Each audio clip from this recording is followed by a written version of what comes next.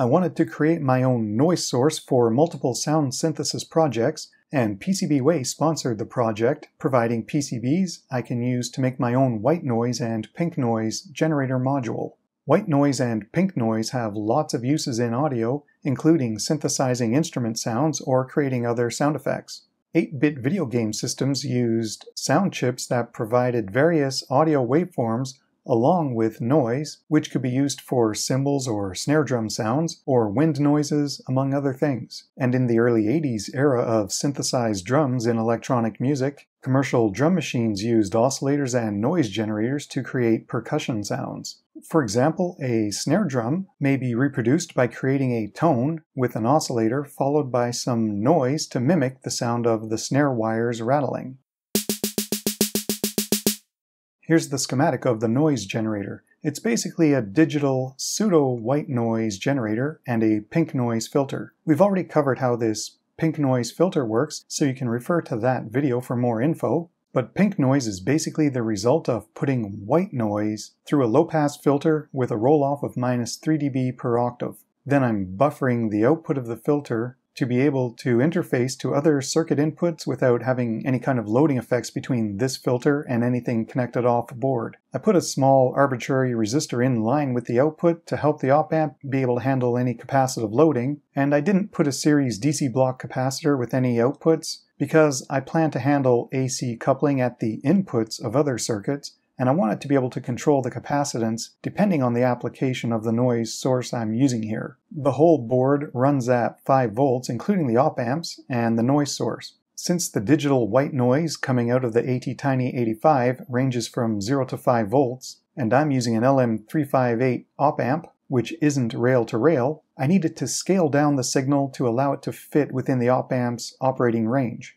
I've discussed this circuit configuration in another video to show how I came up with these resistor values, so you can check that out if you want to know more. The op amp is being used as a buffer to drive the pink noise filter as well as a separate white noise output, so there's minimal loading between any stages and I have a nice low impedance driving source on each noise output. This op amp is set for unity gain, but I have the option to add attenuation or higher gain if needed.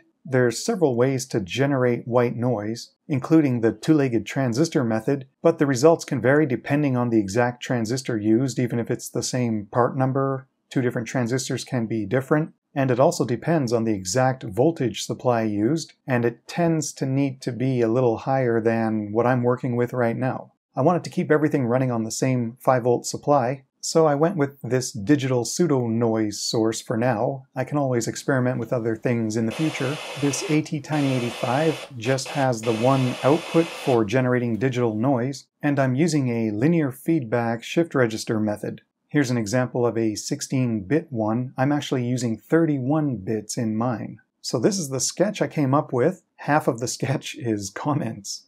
So I'm using 31 bits, I'm only using two feedback taps for the XOR and using an ATtiny85. This is the board file I had to install to use the ATtiny. And I found it okay to use 8 or 16 megahertz internal oscillator in the IDE. I believe if I set it to 1 megahertz, it was actually sounding really weird. I'm not sure why, and I can't remember if it was definitely this combination because I did so many tests. And in order to program the ATtiny85 on a breadboard, I used an Arduino Uno as an in-system programmer, so I referenced a video I did in the past on that. Here's my non-zero number to initialize my 32-bit register, of which we're ignoring one bit to get 31. And I tried to explain here what we're doing because those tap points, when they say position 3 and 31, they're starting from left to right as bit 1 all the way to 31. But of course, in memory, our 32-bit variable starts at the far right as bit 0,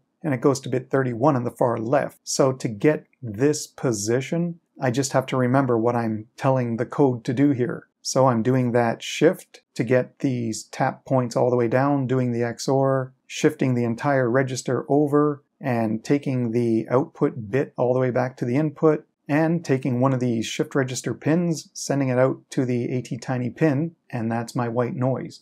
Since we previously evaluated the pink noise filter's performance over 20 Hz to 20 kHz, measuring the attenuation at various frequencies, for now I just want to do a quick test with the scope in FFT mode. Looking at the white noise output, it appears to have a relatively flat spectrum as expected, and the pink noise level is attenuating as frequency increases, which is the expected performance. And to get another view of the noise profile, I recorded a line-in sample of each source into Audacity so we could hear the noise as flat as possible without the microphone and the orange amp coloring it, so to speak. So here's what the white and pink noise sound like when recorded this way.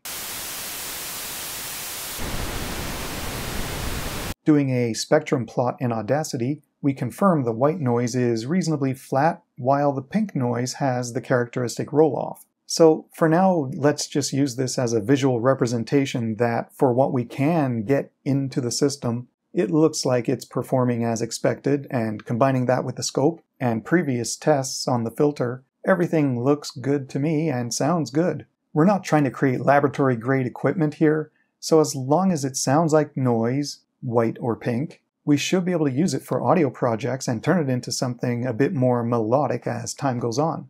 Thanks to PCBWay for sponsoring the project. Subscribe to catch future videos. And thanks for watching.